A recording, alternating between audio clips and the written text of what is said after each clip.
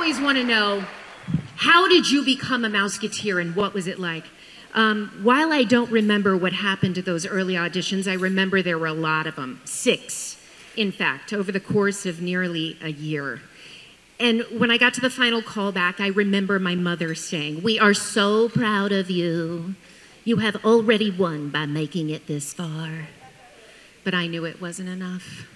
I also knew my mother didn't have the killer instinct for show business, and I was going to have to take charge of this escapade. So I did what we'd all do. I took my own pink boa to the audition, and I sang the 11 o'clock number for my third grade school play with key change and second ending. That's no way to treat a ladybug. Calm down, I'm not going to sing it tonight. I got the call while I was standing on a stool stirring macaroni and cheese. I was over the moon, and my parents were somewhere between dumbfounded and horrified.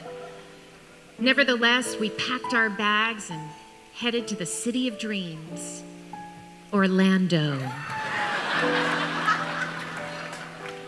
We went to school on set in the morning and rehearsed and taped the show in the afternoon. And this routine went on for six years.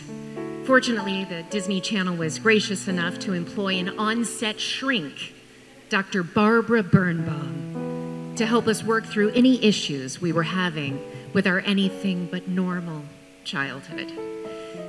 So I'd like to raise a glass to Dr. Barbara I turned out just fine.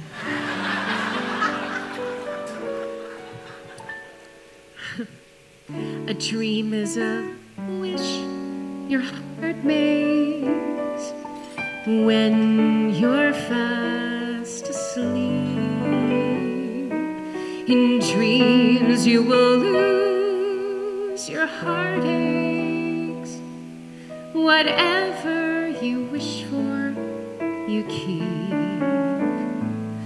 Have faith in your dreams, and someday your rainbow will come smiling through. No matter how your heart is grieving, if you keep on believing, the dreams that you wish will come true.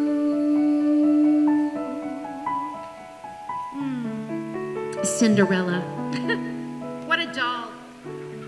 Every Disney princess has her song, and Disney's so great about representing every ethnicity, right? We've got Mulan, Pocahontas, Tiana.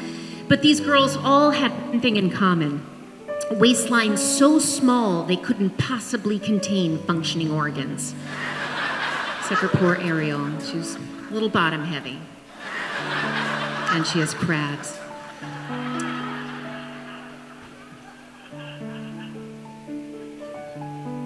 The Little Mermaid came out when I was 12, and I thought Ariel was everything. At the time, I had a poster of the New York City skyline hidden and taped to the wall in my closet. My mother was so deathly afraid that I would eventually move there one day. That place she wouldn't let me hang it on hang it on the wall. I had to look at it in my closet. But it was it was my dream to live there. And I would hole up in my closet and stare at that skyline and think, how could a world filled with such wonderful things be bad? I want to be where the people are. I want to see, want to see them dancing, walking around on those, what do you call them? feet. Flipping your fins, you don't get too far.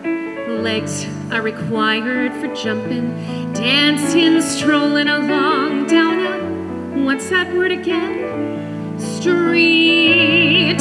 Up where they walk, up where they run, up where they stay all day in the sun, wandering free.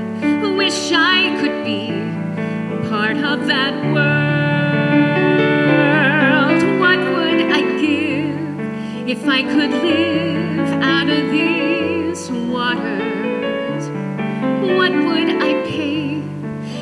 spend a day warm on the sand.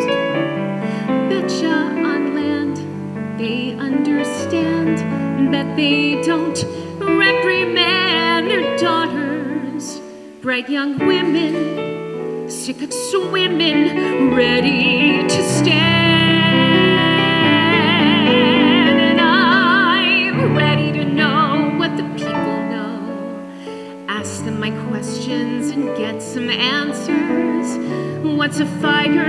Why does it? What's the word? Burn.